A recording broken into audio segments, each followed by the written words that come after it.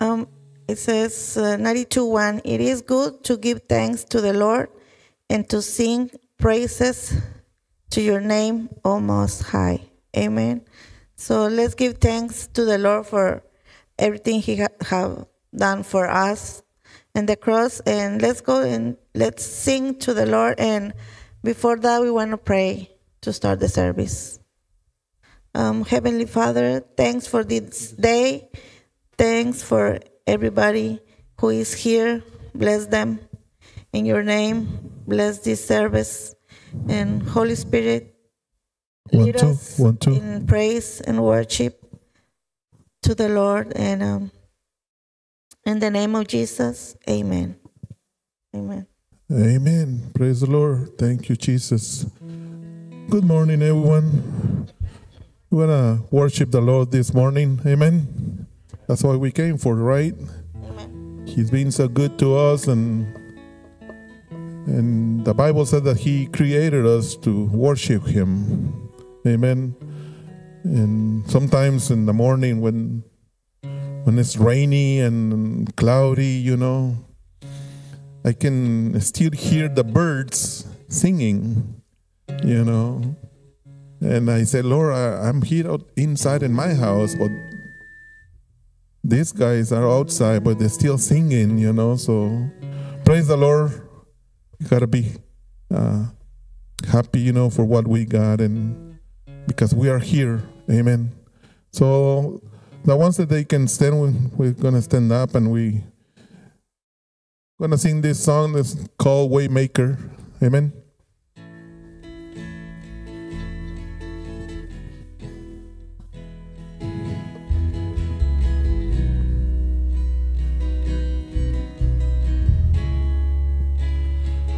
You are here, moving in our midst.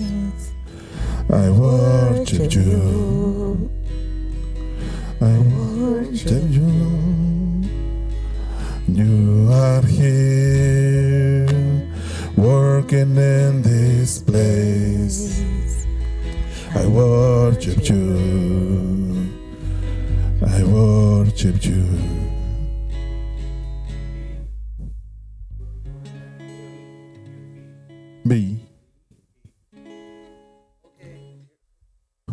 Hallelujah. Praise the Lord.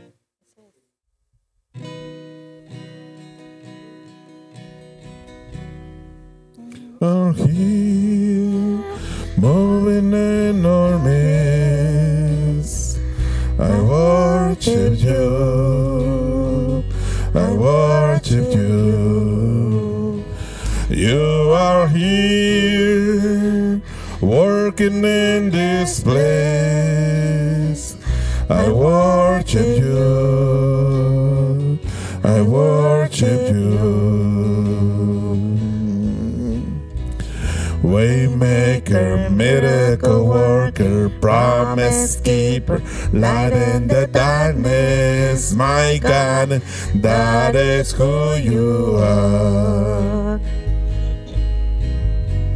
Waymaker, miracle worker, promise keeper, light in the darkness, my God, that is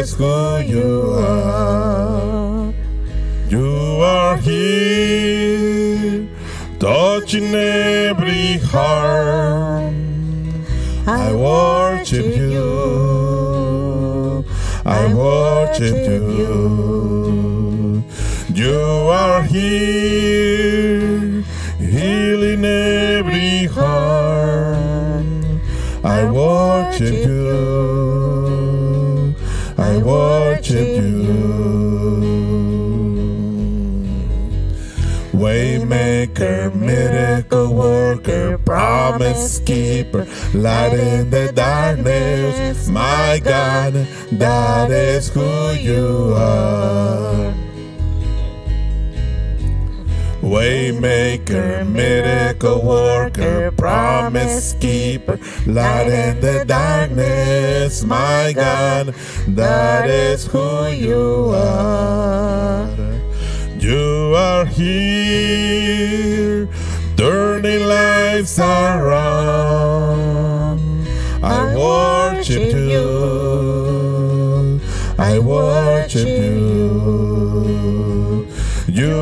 Here, mending every heart.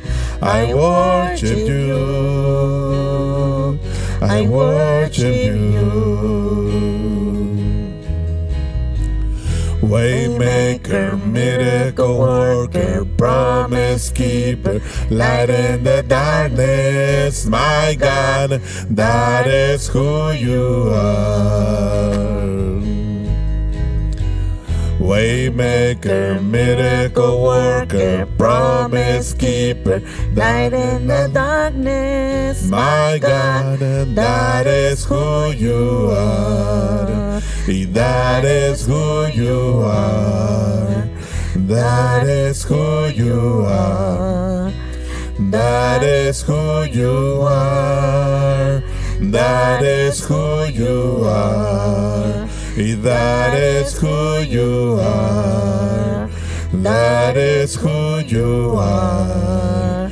That is who you are. That is who you are.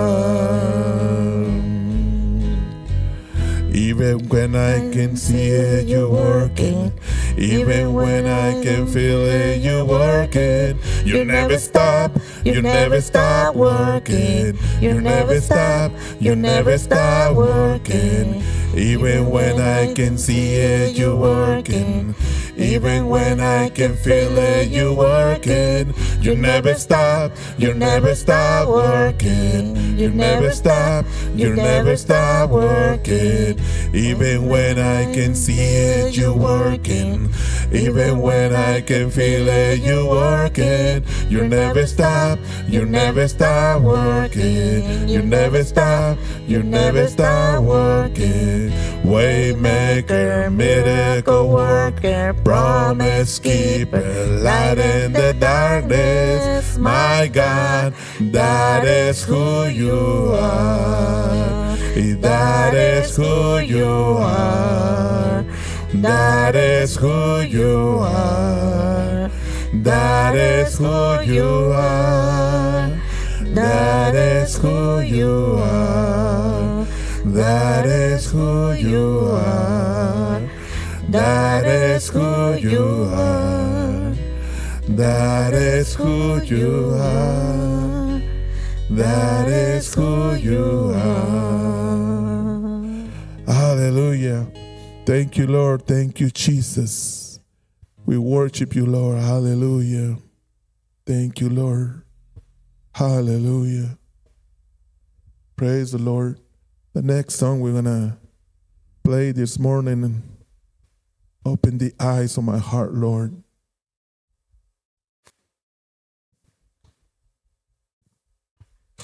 Hallelujah.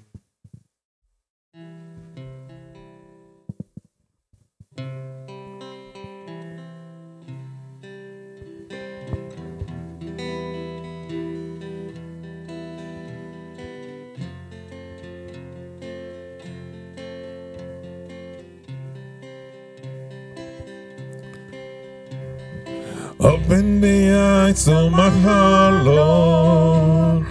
Open the eyes of my heart.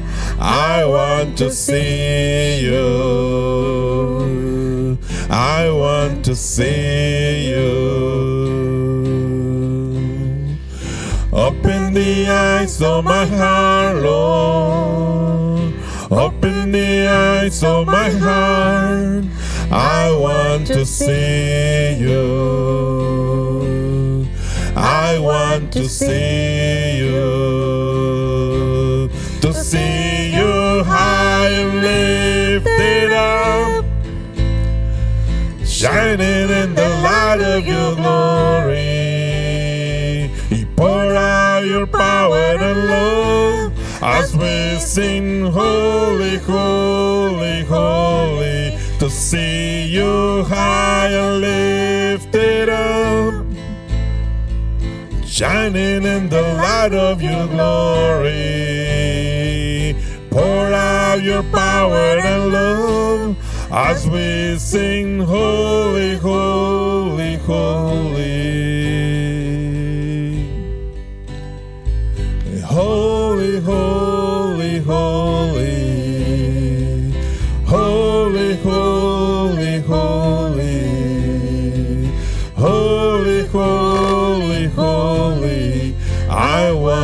see you. Holy, holy, holy. Holy, holy, holy.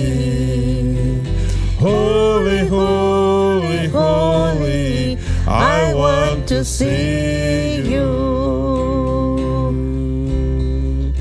Open the eyes of my heart.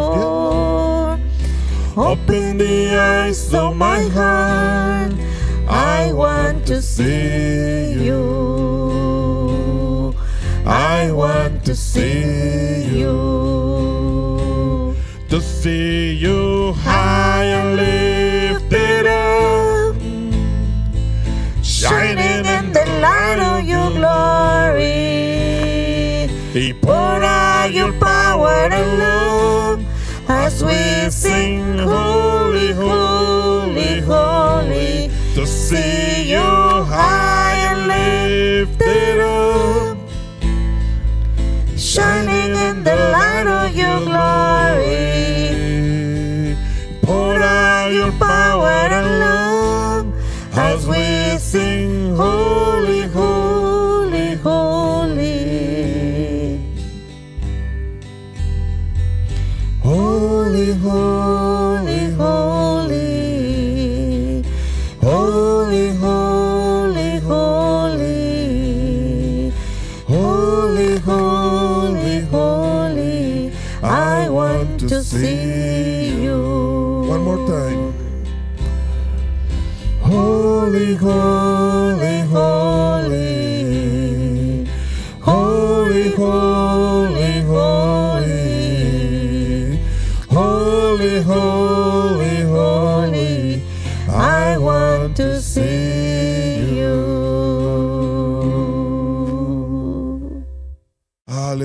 Thank you, Lord. Thank you, Jesus. Hallelujah. Praise the Lord. Hallelujah.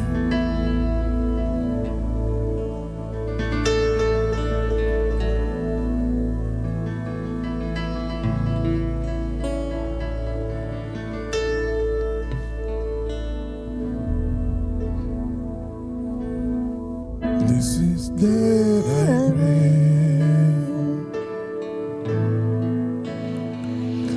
This is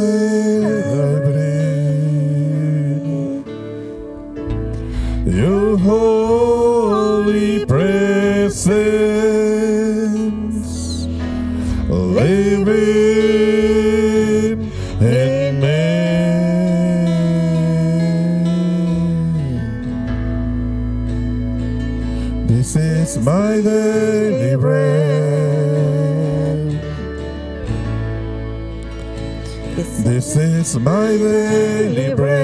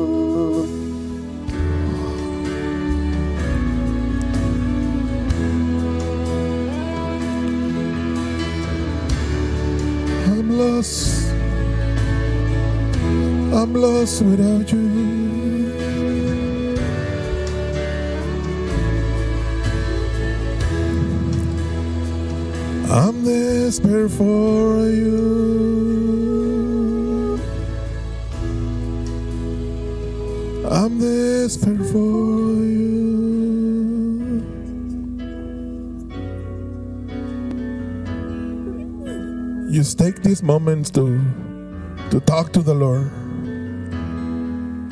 You, you talk to Him with your heart. You talk to Him. I don't know. I don't know what you're going through. I don't know. We don't know how we came here this morning, but He knows. He knows what we need. And if you open your heart, can tell the Lord, I said, I'm, I'm desperate for you, Lord. I'm desperate for you. I'm lost without you, Lord. You start to Him this morning. Open your heart. Forget about what you left at home. I don't know if you're going through, through problems, through difficulties, but He knows. He knows what you need. And He's here this morning. He's here this morning. Probably you don't know how to solve problems, how to solve, I don't know what you're going through, but He knows. And He's here to help you. He's here to heal your heart.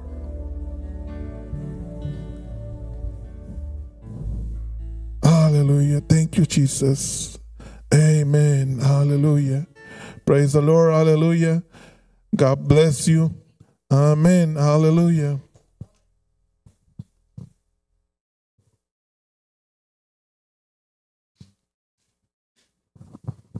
Thank, you, thank you, but worship team. Such a nice presence of the Lord's here, the Holy Spirit. Hallelujah. Well, we get to continue on with our worshiping the Lord through our uh, tithes and offerings. Woohoo! Can't get it up quicker than Pastor there, can we? Huh? Hallelujah. Amen. And um, welcome to those of you that are watching us online as well. And uh, you can uh, participate also by going to harvestchurchlive.org and uh, clicking on the give link there, and it'll walk you on through it, and uh, and uh, so you can partake in God's blessings that He has for us, that He tells us in His Word. Hallelujah. Well, I'm going to uh, start with Deuteronomy 15:10. Hallelujah, and, and it tells us uh, quite plainly to give generously to them and do so without a grudging heart. Then, because of this, the Lord your God will bless you in all your work. What a promise. And in everything we put our hands to. Amen. And in uh, Deuteronomy 16 17, says, Every man shall give as he is able, according to the blessings of the Lord your God, which he has given you. Hallelujah. Such rich encouragement we are receiving there. Hallelujah. And um, and before we uh, uh, pray over the offering, I want to uh, present a, another opportunity to sow into the, the ministry here. And um, uh, we are. I have a, a picture of the parking lot light in the back. If you could put that up, and uh, we are working on restoring this uh, light that uh, has not uh, worked for most of the years of the, the church here. And, uh, and so, um, as you can see, the light is on during the day, and it, it, it comes on for seconds, you know, and then it goes off and does that. So at night it's dark. And if you've been here at night, that parking lot is very dark. Hallelujah. So we are working on um, uh, repainting it. We'll be doing that this Friday. And uh, anyway, the, the, the, this is kind of a important project, and it's going to cost roughly that nine hundred to thousand dollars by the time we're we're done. We're going to have electricians. They're going to put a new light on the top, a new whole fixture, and that'll be happening the week of the eighth. And uh, and so, just there's an opportunity to, to to sow into something very important for uh, for this uh, for this uh, church, for this ministry.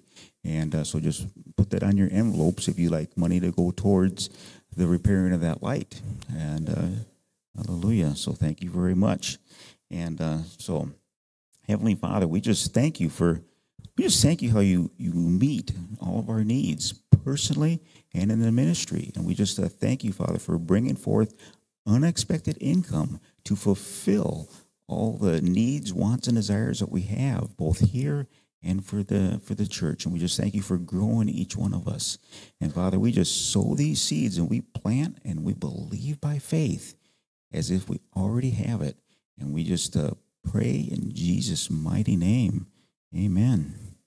Hallelujah.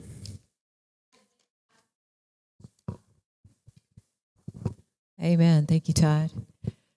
Well, we appreciate Todd's doing all the work on that as far as organizing it, and, and oh, Brian's helping too. So praise God. So thank you, Todd, for heading that up, and uh, appreciate it. Thank you, Mac and Jesse and Pastor Servando and Pastor Lily for helping with the worship this morning. Praise God. Thank you so much. And we appreciate it. Yes, amen. They're going to be doing it next week too, so we appreciate that.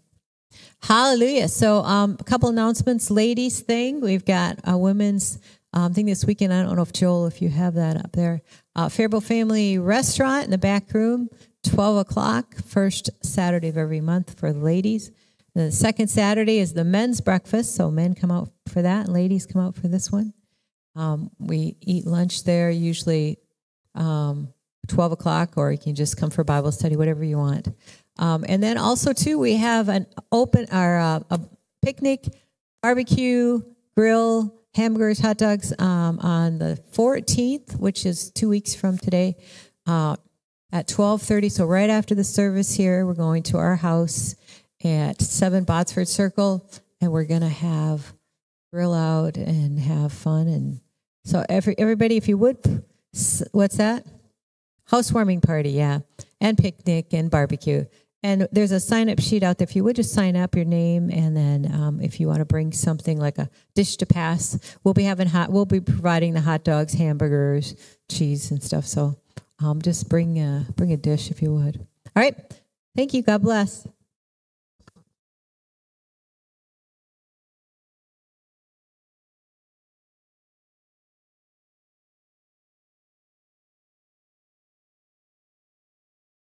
You guys, praise the Lord.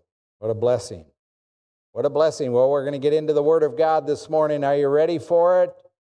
Amen. Even if you're the only one here, and you're not, but if you were the only one here, God has a message for you. And with all of us here, He still has a message just for you today. Amen. So I've entitled again this morning, we're continuing on uh, with a personal message, a me- personal message from Jesus Christ out of the book of the Revelation. The revelation, the revelation of what? Well, look at the title in your Bible there. It says, The Revelation of Jesus Christ. So, the book of Revelation is a revelation, an unveiling, a disclosure. I know we think it's just a disclosure of things to come, but it's also a disclosure, an unveiling, a revealing, if you will, of Jesus to us, and not only of Him Himself personally, but also uh, what He wants to say to us, not just for the future, but also for today, right now. And so you'll see that as we read a few verses here. So go to the book of Revelation. The revelation of Jesus Christ is the title of this book, and that's what verse 1 starts out as the revelation of Jesus. We're going to be skipping down today to verse uh, 10 and 11, first of all. So we'll be reading that. Let's open up in prayer, first of all. Thank you, Lord as we study your word. Holy Spirit, we welcome you to teach us the word of God today. Thank you that you are the great teacher. And Holy Spirit, I thank you that you reveal to us Jesus more clearly to each one and reveal unto us your will and your word for our life today. And Lord, show us things to come, I pray in Jesus' name. Amen. Amen. Revelation chapter 1, verse 10 and 11 says, I was in the Spirit. Talking about being in the Spirit, with the Holy Spirit. Not some kind of evil worldly spirit, not some kind of evil spirit or, or just kind of a, I'm in the Spirit. No, he says, I was in the Spirit, you know, with the Lord on the Lord's day, and I heard behind me a loud voice as of a trumpet, saying, I am the Alpha and the Omega, the first and the last. What you see, write in a book and send it to the seven churches which are in Asia to Ephesus, to Smyrna, to Pergamos, to Thyatira, to Sardis, to Philadelphia, and to Laodicea. So John was seeking the Lord because he was in the Spirit on the Lord's day. And the Lord revealed himself to him. He gave him a vision. A vision of what? Well, verse 19. Verse 19, he says, Write the things which you have seen, the things which are, and the things which will take place after this. He had a vision of Jesus, first of all.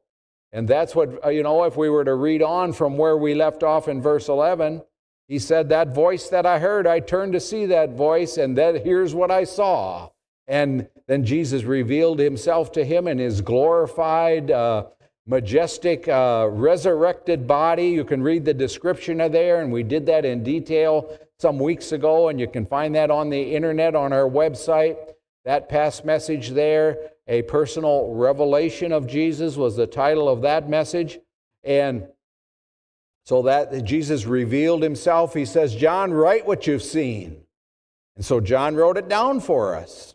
And then in verse 19, he also said, and the things which are.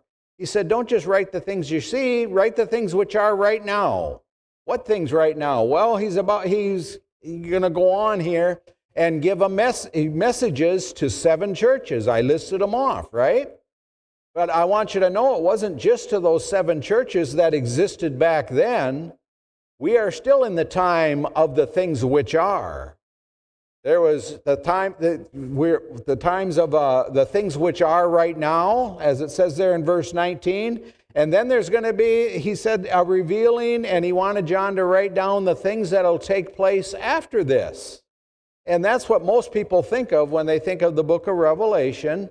They think of uh, more than you know, not necessarily they miss they miss that it's a revelation of Jesus. They think it's just a revelation of you know the Antichrist and the beast and 666 and the 144,000 and you know all those things that you know the vials and the, the the judgments and all those things that'll be taking place when the wrath of God is poured out. And that is part of the book of Revelation, but it's first of all if we get into us you know see a, a, a personal revealing, a personal vision of Jesus for our life, and then get set straight or get our focus on the things that are right now, how we're to live our life right now, and what we're to do right now, and what God wants for us right now, the things that are, then when the things that take place after all this uh, come to pass, we won't be in fear about any of it because we know that you know what? The main point of the book of, Re- of Revelation as it reveals Jesus is Jesus is letting us know that we're going to overcome. We're going to overcome it all. Amen. Read the last few chapters of the, of the book of Revelation, which ends the Bible as we know it. As you read the last few chapters there, it talks about the great future that we have in store for us. Yeah, the world's going to go through some stuff. The world's going to go through great judgment and wrath and, you know, the Antichrist and the beasts and all those things. But there's going to be a great battle, the Battle of Armageddon, and all that that's going to take place. But guess what? We're going to win. We're going to come out on top. Jesus has already won. Did you know that? And he's coming back to this earth again, and he's going to come back and uh, demonstrate his ultimate defeat over the forces of evil. Amen. And uh, so that's what the rest of it's about. But we're right now still finishing up here, um, continuing on, and probably going to finish today with the messages to the churches. Not just to those churches, but to you and I, because we are part of his churches. Amen. The church, if you will. The church is made up of many churches. And not only is the church made up of many churches, but also you are part of the church. You know, as you read the, the, the, New Testament, you are part of the body of Christ, the church. You are one of the members, just like our body has different parts. Well, you're one of the parts of his church. You are the church. Amen. And so these messages to the churches are messages to you personally. He says in verse 3 of Revelation chapter 1, verse 3 says, Blessed is he who reads and those who hear the words of this prophecy and keeps those things which are written in it. Written in it, for the time is near. You want to be blessed? I know you do. And he says, You'll be blessed if you read these things, hear these things, and keep these things, which means to do them. So the message that he had for those churches is just as applicable to you and I today. They're for us today. If Jesus was standing here physically in the flesh, he would say these things to us today. In fact, there's three things that he said to every single one of the seven churches, which I know if he said it to them, if he was standing here, he'd say it to you. The first thing he said, I'll just give you the example here of where the first church of the church of Ephesus, in verse 2, chapter 2 and verse 2, he says, I know your works. You know, he said that phrase to every one of the seven churches. That means he's saying it to us today. Why would he single them out and not single you out? You're not an exception. I'm not an exception, right? If he knew their works, he knows, ooh, it's a serious thing to know he knows my works too. He knows your works. But you notice when we think about that, we think, oh, he knows all my bad stuff. Well, he does. But you know, in this example I'm giving here, he doesn't just get right off when they're bad, what's wrong with them and what, you know, their bad works. He starts right off there with, he says, I know your works, your labor, your patience, and then you cannot bear those who are evil. And that uh, you have tested those who say they are apostles and are not, and have found them liars. And you have persevered and have patience and have labored in my name's sake and have not become weary. He had a lot of good things to say to them, and he's saying that to you and I. God's not just looking for the bad stuff you do, He's looking for, all, you know, he, he knows all of your works, good and bad. Of course, he wants you to strive to always have good works, to be patient, to not grow weary, you know, to, uh, you know, keep laboring for the Lord and, uh, you know, not give up. And, and he goes on through the other six churches there and he has good things to say about most of, not all of those six churches. There's a couple of them there that he didn't have anything good to say about. But that's also a message to us. Make sure you have, you know, that God sees some, you know, some good, sees the good in you as well. Amen. But even those that he, you know, even those that he didn't see anything good about, he still, and he corrected them, told them how to get it turned around, told them how to get straight with him and how to, you know, to, to, to get back on track. And so that's what's contained here in chapters 2 and 3.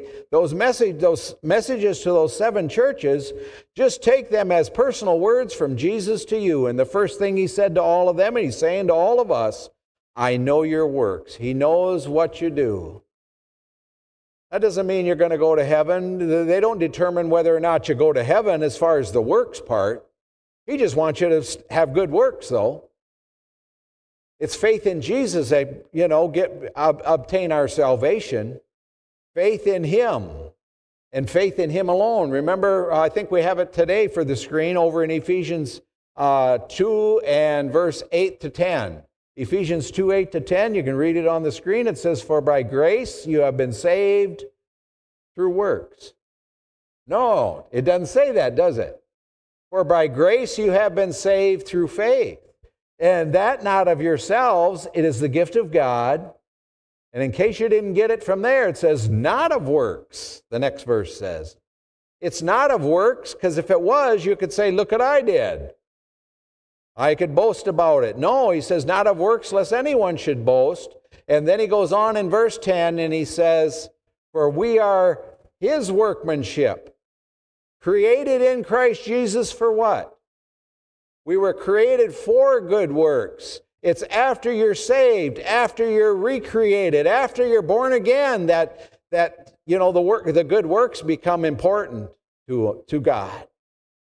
He wants you, you know, it doesn't matter how many good works you have before you're saved. I mean, yeah, sh- we should always try to live right and be morally right and all that, all that stuff, but, you know, it's not to get, work our way to heaven. It's so that we can, you know what we do? We put our faith in Jesus Christ so that we can continue on and good, do good works. God wants you to do good works. He works them in you, actually. We're His workmanship.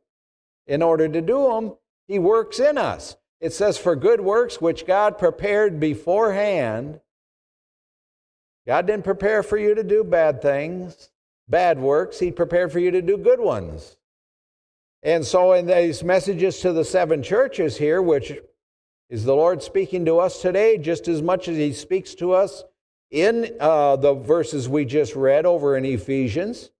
Yeah, He was talking to the church of Ephesus. That whole book of Ephesians is to that same church that He spoke to uh, in Revelation, the first church, the church of Ephesus. He's speaking to them, but they, He's also speaking to us right now, just like He said to them. It's not of, of works, it's by grace through faith that you're saved.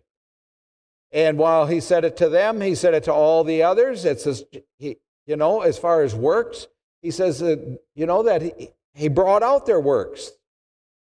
Good works and bad works. God's not just looking for the bad. He's all, he really gets pleasure in your good things that you do. And, he, and I, again, I read some of those here in the example of the first church, the, the good things that they did, how they were persevering and patient and, and uh, not putting up with uh, false, you know, uh, those that said that they were, you know, uh, apostles and all of that, they checked them out. They didn't just take their word for it. They checked out things. How do you check out things, you know, whether to know whether they're of God or not? How do you know for sure? Well, the first step part of that is does it line up with this? Does it line up with the rest of the Bible? Whatever, you know, that someone is saying that's a word from God. And then the second way to know is the second thing he said to every single one of the churches. He said, He that has an ear, let him hear what the Spirit says to the churches. He's talking about the Holy Spirit. He's given us the Holy Spirit to teach us, to, to guide us, to, to uh, guide us into what? Guide us into all truth. According to John 14 and John 6, the 14th chapter and John 16th chapter. Again, that was past a uh, couple of weeks' messages.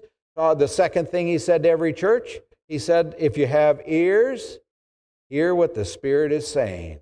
He's not talking just about these ears, of course, but we do need to hear it with these ears. Uh, hear the Word of God. It's good to read the Word of God and hear it, and then he says, so you can do it and be blessed. But he's also talking about deeper ears, ears on the inside. You, you know, it enters the, into you through these ears into, so you can really hear it with your heart. Jesus spoke about that, you know, when he taught the parable of the sower. You know, he was talking, he wasn't talking about planting seeds in land, you know, different types of soil in the parable of the sower that Jesus taught. We did look at Matthew 13 as one of the uh, versions of that, same, that parable that he taught. He actually taught it in Matthew. He, there's a Mark's version of it, and then there's Luke's version of it. And uh, they all are, you know, they bring out different aspects of the, but they all talk about four kinds of soil. And then, you know, uh, Jesus' disciples came to him and said, Jesus, what are you telling us parables for? What do you, what do you teach in parables? You know, a parable is a story, an illustration. You know, his, and that his illustration, his story was about a farmer who plants seed in four different kinds of soil and what happens to that seed. And of course, he ends the uh, three types of soil where the, you know, the inferior soils or the soil that he doesn't want his word plant, his word planted in or, or you know, the seed planted in. The fourth type of soil is what, you know, produces a good harvest, a great harvest, hundredfold, thirty-fold, or a hundredfold, sixty-fold, and thirty-fold, it says in Matthew. Then it turns it around in Matthew, or in Mark, and says, you know, 30, 60, and 100. But uh, in any case, a harvest. He wants, you know, a harvest when seed is planted. The disciple says, Jesus, what do you, why do you talk that way? Why do you teach that way? Because, and then Jesus says, so that those who have ears to hear will hear. In fact, Matthew 13 and verse 9, again, that's from a past week. You can look that up, but, uh, you know, on your own. In Matthew 13, 9, he says, He that has ears to hear, let him hear. A sower went out to sow seed, and then he taught the parable. Well, if they didn't have ears to hear, in other words, if they weren't listening from the in, on the inside to what the Spirit's teaching, well, then they just heard a story about planting seeds in soil, four different kinds of soil. And that's why the disciples said, Why do you do that, Jesus? Of course, if you go back over there, Jesus answered them and told them why he does that. He says, So that those who have ears to hear and those who have eyes to see. He didn't just limit it to ears. He said you got to see it not just with these eyes, not just and not hear it just with these ears, but those that have eyes to see and ears to hear, if they really are hungry, if they really want to see, if they really want to hear, they'll understand. The Spirit will do speak to them and teach them. And that's what the, Jesus said to every one of the seven churches. He said, He that has ears to hear about the messages that he spoke to each one of them, he said, Hear what the Spirit is saying. And so that's what I want to encourage you in this morning to hear what the Holy Spirit would say to your spirit, and more than just the, the words that you read, uh, the words that you hear, you know, also listen in your heart and you'll understand. And that's really true about all of the Word of God. You know, we can just read it and just think of, you know, and think of it just as, you know, good stuff to read or history or, you know, get more knowledge. But God wants more than that for our life. He wants us to not, He wants us to hear it and to read it and hear it so that we get it down into our hearts. Hear it with our inner ears, if you will, the ears of our spirit. Our spirit, by the Holy Spirit teaching us deep on the inside what the Lord is saying. And you know what he says to one person from the same scripture, he may say something else from the same scripture to someone else. You know, just like that parable that he taught of the sower, the four kinds of seed, he said the first kind of soil is wayside seed. and that's the person that hears the word, and immediately the devil comes and steals it. He, he hears about how to, you know, to, hears about Jesus, hears about how to be saved. Jesus even said the devil comes and steal it, steals it so that lest they be saved. So they don't get saved. So they don't believe and get saved. And, uh, you know, that's the first kind of soil. Then he went on to, you know, the thorn or the uh, rocky soil, stony soil, depending on which gospel, which, which, which one of the uh, Matthew, Mark, Luke, or uh, those uh, versions of it that you're reading. Uh, but he said it's stony soil or rocky soil. That's kind of, that's not real deep soil. That's, that's soil where roots can't grow deep into because the rocks and the stones prevent it. And so that's the kind of likening it to the person that uh, whose heart doesn't let it get deep down in their heart. Oh, they like it when they hear it and they shout and shout hallelujah and they praise the Lord and they say, wow, that's good stuff. But then something happens to them out there. They get a little bit of persecution. They get a little bit of troubles or they get a little something that trouble that comes against them and discourages them a little bit and they don't have deep roots, so they fall away. Quit serving the Lord. Quit, you know, uh, uh, you know, being excited about following Jesus. And then there's a third type of soil, which was the thorny soil, uh, you know, that chokes out God's word. You know, the, the cares of this world, the deceitfulness of riches, the over, you know, wanting the stuff of this world so much the lusts of other things, which is over desire for other things. The things of this world chokes out the word of God. People get so wrapped up in the things of the earth and the things of this world. You remember I read last week, you know, the parable, uh, you know, the little track I read? It's a little man made parable there of uh, the everybody's, the anybodies, and the somebodies, and the nobodies. You know, and it said something, uh, it started right off with, you know, somebody want, somebody stayed home on Sunday. Somebody, you know, went fishing on Sunday. Somebody went visiting relatives on Sunday instead of worshiping God on. They got caught up in the things of this world, in other words. They were the first kind of soil that, or the second kind of soil, or the Actually, it's a third, the thorny soil. They got distracted by the things of this world, and so then they can't produce a harvest. You know, if you don't get regular feeding from the Word of God, and I'm not talking about you get your regular feeding just at church, but it's a big part of it. I'll be honest, it's a huge part of it. I know I'm preaching to the choir, but maybe someone else is listening over the live stream that needs to hear that. We all need to hear it, though, and be encouraged in it, even if you're here today.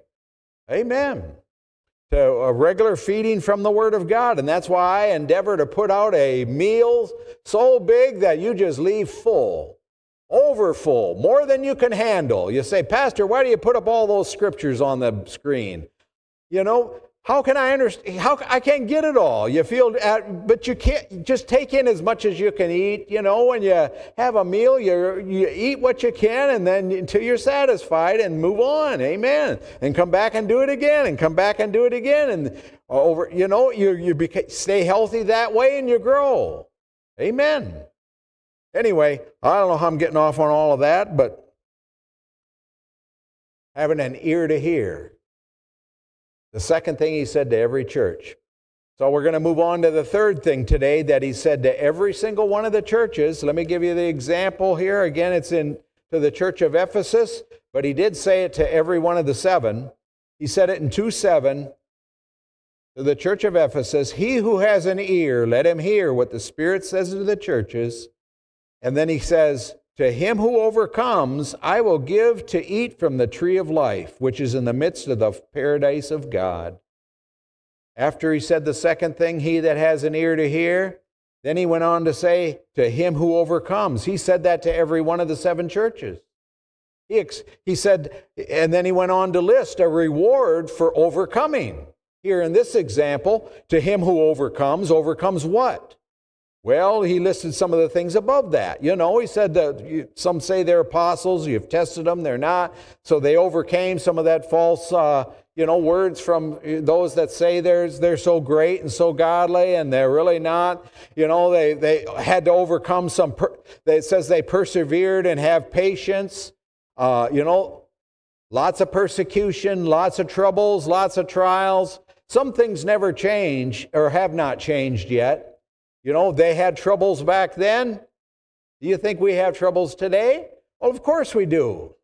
Serving Jesus isn't just a, you know, uh, a thing where you, you give your heart to Him and everything becomes sweet and, you know, a bowl of cherries, so to speak, and everything just starts going good from then on forever and ever, and you just get to, you know, go to heaven and be with Him. No, in the meantime, we're in this world. We're not to be of this world, but in this world, we're going to have tribulation. Oh, I'm getting ahead of myself. There's a scripture about that. Jesus said that. In this world, you're going to have some tribulation. But you know, even though he wants us to overcome it. And that's where he says here, you know, they persevered. And in fact, in the next, uh, the next church there, the church of Smyrna, I don't think I have this verse, but anyway, he's, when he talks about them, they they were going through tribulation. That simply means tribulation just means troubles and different degrees of troubles. There's going to be a great tribulation, you know, there's greater and lesser troubles, but we all have troubles, and they were going through troubles, and their troubles were, you know, uh, persecution and actually even financial troubles that they were going through, probably because they were Christians, because they followed Jesus. Uh, you know, the rest of society was cutting them off, and they weren't able to, to get along financially uh, and have opportunities like everyone else. And but you know, the Lord, even to that second church, the church of Smyrna, he told them, overcome it, persevere in it. Amen. Because actually, that's not all there is about life, you know, just a little, uh, some persecution and troubles. That's not the, Jesus is the, really the answer to everything. Amen. Whether things are going good or whether things aren't going so good, don't lose your trust in the Lord Jesus Christ. Overcome those things. And that's what he, say, he says to the, those churches. That's what he said to every one of the seven. That means he's saying it to you and I today. Overcome. Be an overcomer. Amen. Be an overcomer. And we're going to read some of the stuff that they had to overcome some things. You know, that first church there, again, we, we don't have time to read every one of the verses, but you know, they were, they were going, you know what he told them to overcome there? He, he told them, you, You've left your first love. Get back to your first works, he said. Well, our first love is to be Jesus. Our first works are to be loving Him, loving one another, right? Well, they had somehow lost that somewhat. And so, you know, the Lord gave, said to them, Get back to your first love, get back to the basics. Amen. Love me first. So they had to, you know, overcome that because, you know, the tendency is the more, the longer you become a Christian, if you don't stay in the Word of God, stay in fellowship with God in prayer, and, uh, you know, in fellowship with His people and in, in church and all of that. Things kind of, you just kind of lose some excitement, lose some of the joy there. Did you know that? And when you do that, you kind of, what's described here, you're leaving your first love. You get distracted. That's how you become those other kinds of soil, you know, where the cares of this world and you know, the deceitfulness of, of money and riches and all of that. You get, you get uh, distracted by all of that, and it replaces your love for Jesus eventually, or at least it makes it colder. Anyway, so they had to overcome that. Then the next church, you know, they had uh, false teachers. You know, the next couple. Uh, so there's false teachers. You know, not everybody teaches correctly the Word of God. That's why we need to stay in the Word of God to know when it's true and false, right?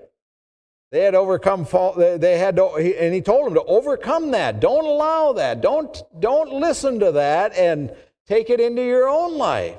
I mean, he says, you know, that he talks about a couple of them. He talks about a phrase called the deeds of the Nicolaitans. Well, what's the deeds of the Nicolaitans? I, you know, when you read about these churches, uh, uh, you'll see that that's mentioned more than once. I think two or three of the churches, he said, Watch out for the doctrine and the deeds and what the Nicolaitans do. So I said, What's that? I looked it up for you. The deeds of the Nicolaitans. It, it, it, it it's, it's a teaching of uh, trying to mix uh, idolatry, trying to mix pagan things in with Christianity. Mixing and trying to mix things up. And they went so far as to even, uh, not, not just uh, some of the uh, uh, idol worship practices, but also even, you know, sexual immorality. And you know how the world excuses that even today. You know, like that's no big deal and all of that. Well, they were mixing all that in there, and, and he said, You got to overcome that. Just thought I'd throw that in. The deeds of the Nicolaitans and the doctrine of the Nicolaitans, be an overcomer for, of all of that. So there was some false teaching about that. And then uh, another church, the church of Sardis, I think that starts in chapter 3, the first couple of verses. Look in chapter 3 and verse 1 and 2. I don't know if I have it for the screen, but I'll read it to you.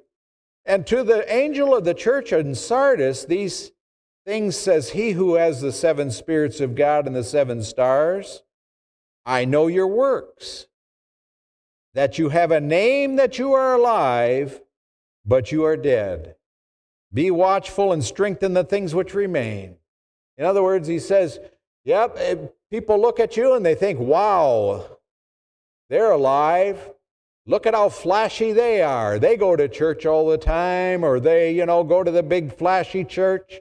You know, they have the big screens, and the pastor wears the skinny jeans, and they have the fog machines, and, you know, and they have all that stuff, and they, wow, they look alive. You see them on TV or on the internet. Wow, that's a big flashy thing. He said, This church, he said, you look like you you got a big name, but you really don't. He says, strengthen the things which are uh, which remain.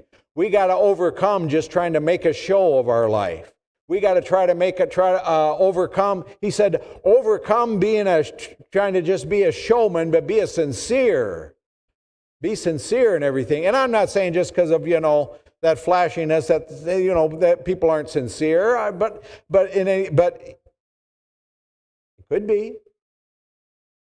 it Could be that same way, just in a smaller setting.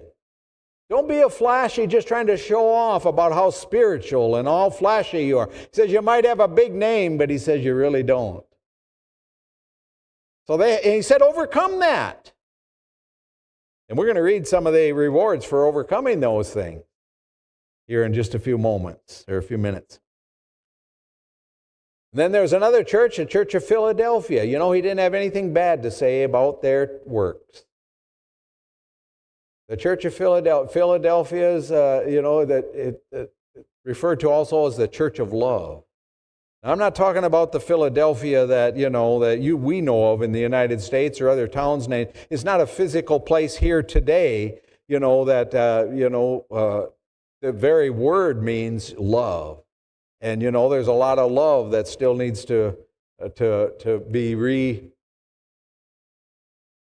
Uh, how do I say it? There's a lot of love that still that people need to get back to in today's world, right? So just because you have a name doesn't mean it's there. But anyway, that church that he was writing to them and he's writing to you today, walk in love, like the Church of Philadelphia did. And they were, you know, he said, he also told them, he encouraged them that they were keepers of the Word of God. Oh, they were keeping the Word of God. And they've uh, not denied his name because it's easy to deny the name of Jesus, especially, or, you know, uh, uh, Christianity and, and the things of God. It's easy to, to make light of it and to deny it in today's culture, isn't it? Because, you know, you're going to get a, you know, you might get some uh, persecution over it or somebody might make a bad comment to you about it, or say that, you know, or, or, or say that it's not, you know, you got to watch you to not be so uh, wild, or whatever the words they might use. Don't be so fanatical, and all those kind of things. Well, he commended them for keeping the word of God and not, you know, denying his name. And but then he also said, you know, keep on going, overcome that, overcome, you know, the temptation to, to, to not keep his words and, and to deny his name, overcome that, and there's rewards for that that he promised them, and that means there's rewards for you and I today. And then finally, the last church there, they had to overcome lukewarmness. You know, it kind of leads in from what I was just speaking about. Lukewarmness, he says, you know, I don't want, I wish you were hot or cold. I wish I knew where, you know, that you would, you know, actually show where you stand. Not just be uh, lukewarm, he says, because you're lukewarm, I'll spew you out of my mouth. And then, you know, the phrase that he, the scripture that he, he talks about then is one, a lot of Christians know that. He says, Behold, I stand at the door and knock. If any man hears my voice and opens the door, I will come in and sup with him or have dinner with him and fellowship with him and all of that. He's not talking about, he's talking to the church there. He's talking to people of God there. You can become lukewarm. Don't become lukewarm. He wants you to overcome that. So there's a lot of things that, that, that those are applicable to each one of us today, not just to the people, you know, people, churches in the past. They're to you and I today as a member of his church right now. Amen. So they had all kinds of challenges, all kinds of uh, obstacles, sins, tribulations, and troubles, you know, adversities that they went through. But you know what? We still have this, many of the same things today in our lives, right? There's various challenges, obstacles, sins, tribulations, and troubles, and adversities, and fears, and everything that try to come against us. Jesus wants you to be an overcomer. He said to he who overcomes. Or to some of the, well, some of the, three of the churches, he said to he who overcomes. And to four of them, he said to him who overcomes. The whole point of it all is he wants you to overcome. You're an overcomer. You know, as I said in the last service, I believe it was, I just was thinking about this last night. What's the opposite of overcoming? What's the opposite of over? Under. What's the opposite of coming? going. So instead of being an overcomer, I mean, instead of, you know, he, in, he wants us to overcome instead of undergo. So when you think of overcoming, it's more of a aggressive thing. It's doing something, not just be cowering and, you know, being in fear and just trying to barely make it or trying to just survive while all this bad stuff is happening around us and while we're going through all these tests and troubles and whatever adversity it might be that tries to, you know, the devil tries to throw our way, uh, he doesn't want you to just kind of, you know, sit it out, so to speak, and do the best you can to protect yourself. He doesn't want you to undergo, he wants you to overcome. Amen. Be an overcomer. Uh, you know, to overcome it, it's, that, you know, it has to do with being vi- victorious and conquer things. Overcome them. Don't undergo them. Amen. He that has an ear, let him hear. Let the Holy Spirit just speak to you about that. You know, because some people think, well, you know, I just got to try to do the best I can and kind of uh, hope I, I, I'm, I'm going to try to survive. I hope I can survive this as if, you know, you have nothing to say about what comes against you.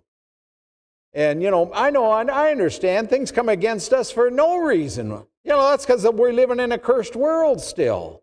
One day it won't be. There's going to be new heavens and new earth, and we're going to be, you know, we got to read the rest end of the book there to, to get all that and what's in store for us later. But in the meantime, in this world, troubles are going to come, and you know, and, and, and they just do. But we don't have to cower and just, you know, try to barely just get aggressive about it and over do like he says, be an overcomer. Don't let it get you down.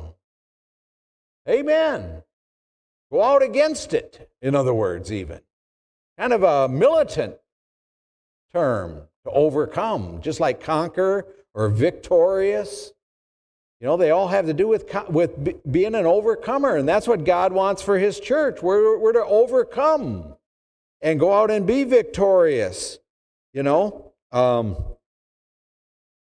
how can we do that? Well, John 16, I think we have that scripture. John 16, 33. Look what it says about it. Jesus said, These things have I spoken to you, that in me you may have peace. In the world, that's where we are now, right? We're also in Jesus, so while you're in Him, you can have peace. And while we're physically, it says, in the world you will have tribulation. But be of good cheer. Why? He says, I have overcome the world. And He's in us. He sent the Holy Spirit to be with us and to dwell in us and to fill us. Amen. Even though there's troubles and trials and tribulations in this world, he said, you can be of good cheer through it all. Why? I have overcome the world. And if he's overcome the world, he's made you an overcomer of the world. He had told every one of those seven churches there, and he's saying to every one of us today in his church, we are overcomers. Amen. And overcome all that.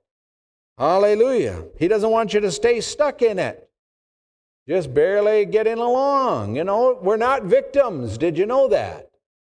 We're victorious and not, we're not the victim. Yes, the devil tries to make us the victim. He, he, he counts us as sheep to the slaughter, I think it says over, I think we have the scripture even, Romans uh, chapter 8, 35 to 39. What can overcome the, you know, what can separate us from the love of Christ? Shall tribulation or distress or persecution or famine or nakedness or peril or sword, you know, wars or all of those things, can all these things over separate us from the love of Jesus? Him loving us and us loving Him? You know, the implied answer is no. And in case you don't get the implied answer, he'll go on to say it. Look at the next verse. Verse 36 it says, As it is written, for your sake, talking about God. For your sake, we're killed all the day. Some have that attitude that, you know, they think, well, Lord, I just follow you and I put up with it, and for your sake, I'm getting all this troubles. All the, everybody's against me, and all of that because of you. And oh, woe is me! But he says we are accounted as sheep for the slaughters. You know, they think that we're just, you know, uh, you know, weak and can't do anything about it. Look at the next verse, verse uh, 37.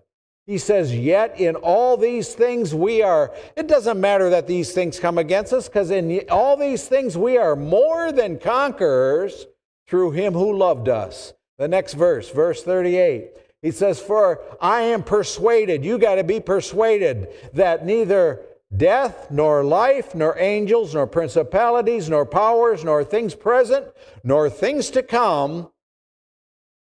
Next verse nor height, nor depth, nor any other created thing shall be able to separate us from the love of God which is in Christ Jesus our Lord.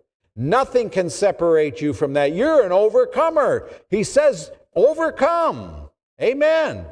Those same th- things they were going through, those seven churches, they were going through those persecutions, those distresses, those times of famine, those times of, you know, being without those times of persecution and, you know, coming against them, and even imprisonment and even death. One of the churches there, he says, they're going to put some of you in prison, and even some of you are going to die there.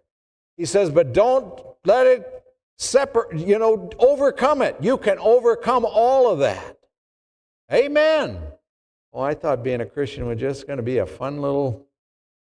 It, it is the greatest thing in the world, and it is if you have the if you're persuaded that none of that nothing that happens good times bad times up times down times sideways times whatever times they are whatever happens be persuaded that nothing will overcome you you're going to be the overcomer because you are. Amen. A couple of other verses of scripture about that. First john chapter 4 First john chapter 4 that's right before, uh, just a few pages before the book of Revelation, 1 John chapter 4 and verse 4. It says, You are of God, little children, and have overcome them. Because he who is in you is greater than he who is in the world. And those that, what he says, you've overcome them, he's talking about the evil spirits in the world. And greater is he who's in you than he who's in the world. Amen. We've overcome them. Notice he said that? You have overcome them. Well, it doesn't feel like it to me, some people think. But that doesn't change it. As far as God is concerned, you're an overcomer. You have overcome them. Overco- now walk it out. He's in you. Amen. In the world, you're going to have tribulation, but be of good cheer. He's in you. Jesus said, I've overcome the world. He says, Greater is he, in this verse, greater is he that's in you. Yes, there's things that happen. Yes, there's things that, you know, tempt us. Yes, there's things we face. And even by our own bad decisions, we go through some things and, you know, face troubles and stuff because of that. You know, but we have the greater one in us. We're overcomers. Amen. We're victorious. We don't have to just give up and quit. He said that to many of those churches, and he's saying it to you and I today. Persevere. Keep on going, in other words. Don't give up. Hallelujah. Over in 1 John chapter 5, in the same verse 4, 5 4, he says this. He says, For whatever is born of God overcomes the world, and this is the victory that has overcome the world our faith. Let me ask you a question a question Are you born of God? Have you been born again? That, if you've been born again, if you've been saved, you've been born of God, born of God, recreated by God on the inside, and He wants you to walk it out on the outside, be an overcomer. He says, He who is born of God, or whatever is born of God, overcomes the world. And this is the victory that has overcome the world. What, what overcomes the world? Faith. Trusting the Lord believing in Him, being fully persuaded that you've over that he, he is in you and you've overcome.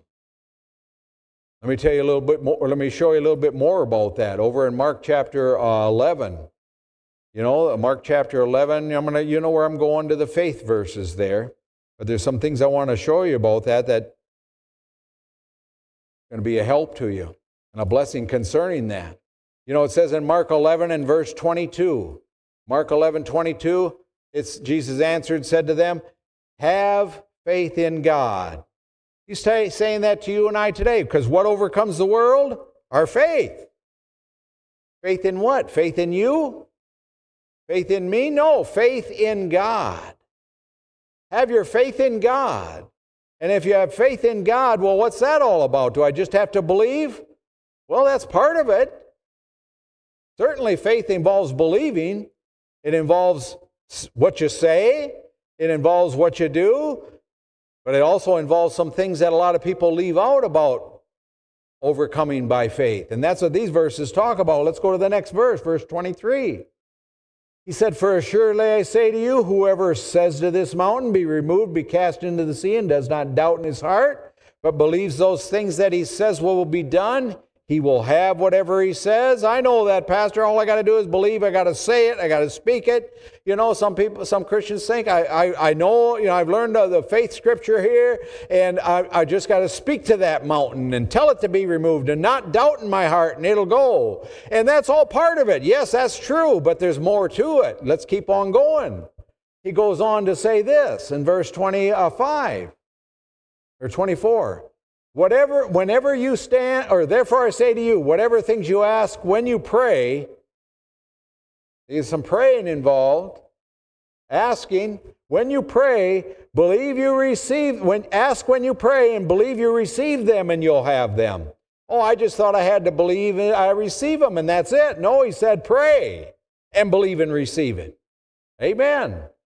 So eh, whatever you ask for when you pray, believe you receive them. Eh, some people don't get what they ask, what they want because they don't ask. That's what prayer is about. Then we got to go on, and that's not all there is to it. I mean, it's simple, but there's there's it's not just any one thing. All, you know, believing in God, but eh, having faith in God is, you know, uh, several different aspects involved in that. Whenever you stand praying, he said, if you have anything against anyone. Yeah, we're to pray. And then when we pray, if you have anything against anyone, what are we supposed to do? Forgive them. Remember the Lord's Prayer Our Father who art in heaven, hallowed be your name. Thy your kingdom come, your will be done on earth as it is in heaven. Give us this day our daily bread and forgive us our trespasses as we forgive those. Forgive us our trespass trespasses as we forgive those who trespass against us. That's sins. He says uh, in verse 25, 25, he says, if you have anything against anyone, forgive them that your Father in heaven may also forgive your trespasses. That sounds like the Lord's Prayer, doesn't it? Right in line. He says, Forgive us our trespasses as we forgive those who trespass against us. If you want your faith in God to be able to overcome the world, make sure that when you stand praying, you have no, nothing that's uh, ill will towards anyone. Forgive. Don't hold grudges against anyone, he said. Just like, you know, as your, that your Father in heaven may forgive your trespass, your, your uh, trespasses. And then in the verse, next verse, makes it even clearer but if you do not forgive, you're in trouble. I'm just summarizing it. Read it. If you do not forgive, neither will your Father in heaven forgive your trespasses. You're in deep, you know, deep trouble there. It's all part of it. You say, well, I just got to believe and confess and receive and ask and all. And God just, He wants the best for me, and that's all there is to it. He says, no, you got to love Love me and love your neighbor as you love yourself as well. You can't hold grudges. You got to forgive, just like I've forgiven you. Amen. Well, I hope you're still glad you came to church today. You want to be an overcomer, don't you? That's a personal word from Jesus. He, you want, he wants you to overcome. Okay, let's look at some of the rewards for overcoming. I'll just list them off. Most of these scriptures we don't even have time to go to, and even if we did, I didn't put it on the list on purpose because I knew it would be too time consuming and you know we can only di- digest so much but I'll quote some of them if you, want to follow along with me though over in Revelation 2 and 3 that's the messages to the seven churches. I'm going to read the verse talking about uh, where he ta- the verses where he uh, the message uh, from the verses that he says to them to overcome and their rewards for overcoming. Over in 2 7 he says if to him who overcomes, I will give to eat from the tree of life, which is in the midst of the paradise of God. Tree of life, paradise of God. Sounds great, doesn't it? It's a reward. Let the, if you have ears, talking about ears, let the Spirit, what the Spirit is saying to you about that. The tree of life, sustenance from God. Anyway, verse 11 uh, verse 11, he says, He who has an ear to hear, let him hear what the Spirit says to the churches. He who overcomes shall not be hurt by the second death. That's a good thing. You know, there's two deaths. Did you know that? Well, there's two deaths, not for everybody, there's two deaths for some. If you're a follower of Jesus, if, you, if you're a believer, if you've given your heart if, to Jesus and you're saved, there's only one death. And if Jesus returns before you die here in our lifetime, you don't even get to part of the first death. But should that not happen, you know, uh, we, we only participate in the first death. If, you know, we're still, if Jesus hasn't come by the time we get to that time in our life when, you know, our time is done and we die and, but even that's not bad because we, that death means we just go to heaven. You just leave, you leave your body and go to heaven and you know your body will catch up with you later okay and a, res- a resurrected body will you know be taken up in the rapture. Amen. It'll, it'll catch up with you yeah. Yeah well it'll keep up it'll kept it'll catch up to you in a different state in a glorified state. It'll catch up with you in a perfect state. Amen. Anyway so um, you'll not be hurt by the second death. The second death that's spoken of here in the book of revelation. It's over in Revelation chapter 20. You can read about it in uh, verse uh, around verse 14 or 15. It's called the lake of fire and brimstone that the devil and his and his demons are going to be cast into. You know, uh, they're going to be thrown into the f- lake of fire and brimstone, and it says, which is the second death. That's the second death, is the lake of fire. And then in 21 8, he says, I'll read 21:8 just because I have my uh, revelation open here. 21:8 he says, "But the cowardly, unbelieving, abominable, murderers, sexually immoral, sorcerers, idolaters, and all liars shall have their part in the lake which burns with fire and brimstone, which is the second death." So the second death are for those who are, you know, for make that list the unbelievers, the abominable, the uh, abominables. Okay. That's not a snowman. anyway, here, the unbelieving, the murderers, all those things, the liars, and those that haven't repented, in other words. You know, if you haven't repented, uh, you know, those sins don't in and of themselves disqualify you. It depends whether you've repented of those sins and decided to follow Jesus and turn around from all of that. Amen. But those that haven't get the second death. Anyway, so our great reward for him who overcomes that we read here. To the church of Smyrna, he's talking to the church to you as well. You won't be hurt by the second death. Praise the Lord. Over in Revelation 2:17. 2:17, here's another reward. He who has an ear to hear, let him hear what the Spirit says to the churches. To him who overcomes, I will give some of the hidden manna to eat. And I will give him a white stone, and on the stone a new name written, which no one knows except him who receives it. Now, I don't know what all that entails, and there's, symbol, there's some symbolism there, they Bible scholars say, but that's why Jesus said, he prefaced that with saying, He that has ears, let him hear. What is the Holy Spirit saying that to, to you? Hidden manna, that's bread from God, food from God. Amen. You know, the white stone, I don't know what that's all about exactly, but some scholars say back in history, back in, you know, way, way, you know, centuries back and maybe even thousands of years back, a white stone was something, had something to do with being uh, acquitted of crime. You know, it was written on a white stone or something like that. You know, um, it has, has to do with you being acquitted, not being charged with your crimes, you know, and things like that. So there's some good rewards there for overcoming. And then the next one is uh, 26, 226. Here's a reward for, for overcoming. He says, He who overcomes and keeps my works until the end, to him I will give power over the nations. There's going to be some power, some authority, some job to do in heaven. You're going to manage something. Say, well, I don't want a bunch of power, but you know, he's going to give you some authority. That's what that power is talking about. It's just you're going to manage something. We're not just going to lay around and eat grapes all the rest of eternity. You know, He's got something for us to do all throughout eternity. Verse 28, uh, He says, And I will give him the morning star. What's the morning star? Well, you got to go back to the end of the book. Jesus himself even said in the 22nd chapter, I'll read a verse to you. He said in 20, uh, 22 16, I, Jesus, have sent my angel to testify these things to you, to the churches, or in the churches. I am the root and the offspring of David, the bright and morning star. If you overcome, I mean, Jesus, he says you, you get to place with the morning star with Jesus. Come on. Be an overcomer. Don't give up. Don't go back. Don't backslide. Don't fall away. Be an overcomer. Amen.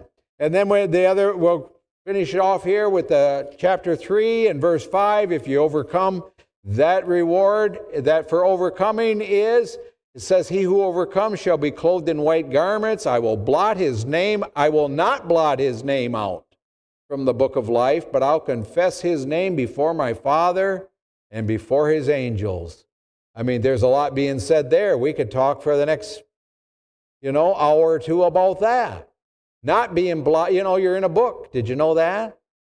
And if you overcome, you're not blotted out of the book. You know, not you want you to overcome, you know, and not fall away and all that. So anyway, there's there's that that's spoken of, and you can read more about that the last few chapters of Revelation. That the last the great white throne judgment. That's when the book's coming out. To those who are already destined to go back to the lake of fire, to hell. But anyway, the book's coming out, and you know, uh, just to show them their name's been blotted out. Anyway, he says, I'll not blot out your name. And, you know, the white garments, a sign of purity and righteousness and all of that. Then we go on to verse 12, 312. There's another rewards that are spoken of there. It says, To him who overcomes, I'll make him a pillar in the temple of my God, and he shall go out no more, out of God's presence no more, in other words. That sounds great. Wonderful reward. And I will write on him the name of my God and the name of the city of my God, New Jerusalem, which comes down out of heaven from my God, and I will write on him my new name. I don't know what all that's about, but I do know this. You got an ear to hear, let him say hear what this hear what the Spirit says to you about all of that. Amen. But it's good because it's all good stuff here. Now, and then I'm going to finish off here in verse 21. Is that the last reward that he brings out, speaking to his church and speaking to us, his church. To him who overcomes, I will grant to sit with me on my throne, as I also overcame and sat down with my Father on his throne. Again, a throne is a place of authority, and even if it wasn't, you're still sitting with Jesus. Come on. You're still right there with Him. You get to be with Him forever and ever and ever. That's a great reward to him who overcomes. Be an overcomer. Let's pray. Thank you, Lord, for making us overcomers. Thanking us that you have already made us an overcomer. And we have already overcome because you've already overcome on our behalf. And you filled us with your Spirit. Spirit, Holy Spirit, I thank you that you give us power power to be a witness, but power to also overcome anything that comes our way. So, Lord, my prayer for each and everyone here today and everyone that's watching or listening to this over the internet, over the live stream, or however they're hearing this and re, or watching this message today, Lord, that get hold of and deep down into our hearts, be fully persuaded we have overcome and we're going to overcome. Will not let anything stand between us, Lord, and what you would desire for us. Serving you, loving you, trusting you, and living for you. I pray, Lord, all the days of our life. And if you've never made a commitment to the Lord Jesus, I pray that you'll make that commitment today. The Lord wants you to commit your life to Him. Commit your life to Him by just calling on Him and asking Him to save you. If you do that, He'll do it. That's what faith is asking and believing in Jesus. I should say, even stronger than that, believing on Jesus. Throwing your whole life on Him. He wants all of your heart and all of your life. Just call out to Him from your heart in prayer and say, Jesus, save me from all of my sins. Save me from the penalty of the sins that I have ever committed. I repent of my sins. I repent of my past life. I repent of trusting myself. And I trust you now from this moment forward. I'm yours. I commit my life to you. I can't do it on my own. I need you, Lord. I believe you died for me to pay the penalty of my sins when you went to the cross, that your blood washed away all of my sins. And then after you uh, died and rose again, so that I'll rise again and do rise again now and get a home in heaven eternally. Thank you for forgiving all of my sins, saving me from them, and giving me a home in heaven forevermore. I'm yours from this moment forward. I trust you. I believe in you, and I'm yours. Jesus' name, I'm yours. Help me, Lord, to serve you. Amen. You pray a prayer like that out of your heart, just He knows your heart.